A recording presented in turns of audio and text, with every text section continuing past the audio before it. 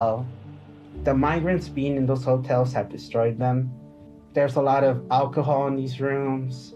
Housekeeping is there all week, and they'll clean it. And by the end of the night, it's it's there's kids getting drunk together. There's people hooking up with each other. There's multiple guns in these rooms as well. The- All right, welcome back to Reality Check. Now, today we're going to be discussing the migrant issue that's going on in NYC. Me, I'm in NYC right now, so I could literally just take a train and go go look wherever it's at to see if it's really going on and it's really going on, you know. Everything is at an all-time high in the city right now.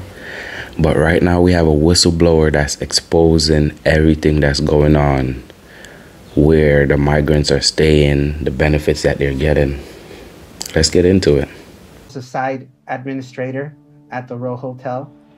So in the hotel, we have close to 5,000 migrants. Anything involving this hotel, I was helping run it. Everything ranging from doctor's visits to medication is paid for for the migrants. Anything you can possibly think of, it's being given to them. Car seats, cribs for newborns, uh, there's, I want to say, at least two to three babies a week being born at this hotel. The migrants being in those hotels have destroyed them. There's a lot of alcohol in these rooms. Housekeeping is there all week, and they'll clean it. And by the end of the night, it's it's there's kids getting drunk together. There's people hooking up with each other. There's multiple guns in these rooms as well. The alarming thing is that this hotel is meant to be a family hotel. You were actually showing me some text messages between a social worker about a drunk 10 year old in this hotel. Can you talk to us about what happened there? Yeah, it was a drunk 10 year old who was caught with a 14 and a 12 year old, and all three of them were intoxicated. And when we looked them up in the system, the parents had checked out two days ago. So their parents just left them there? Yeah, the parents will leave the kids unattended in the hotel. We heard a security guard start yelling, uh, There's a gun on site, there's a gun on site. It was probably an upset person that we had kicked out of the hotel. I myself had been assaulted. I've seen other people get assaulted. I've had threats saying, you know, we'll be waiting for you guys outside. There's been times where staff has had to be, you know, escorted to their cars, to their to their trains because the migrants are threatening them. Yeah. Often at times there was migrants causing chaos with with shoplifting.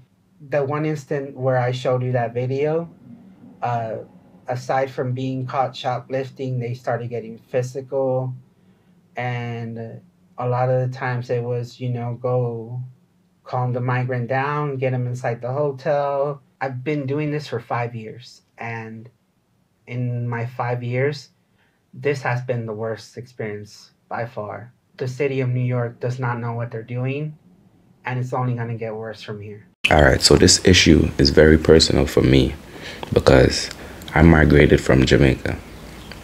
Um, I migrated from Jamaica in 99.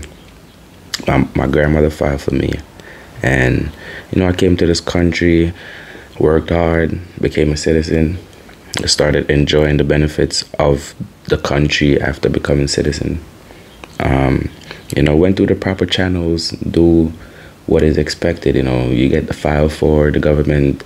Say if you have if if you're granted access to the country or you're denied, and I was granted access, so I came and got an opportunity, work hard, became a citizen, and I could enjoy the benefits of being a citizen, you know. With that being said, with me migrating from another country, I also know a lot of people that's in this country illegally, and they don't get the same benefits that these migrants are getting. I know of people that's been in this country for years, trying their best to try to obtain legal status, and it's hard on them, you know and they don't have the same benefits. They don't have the housing, they don't have the health care, they don't have none of these things that these migrants are getting.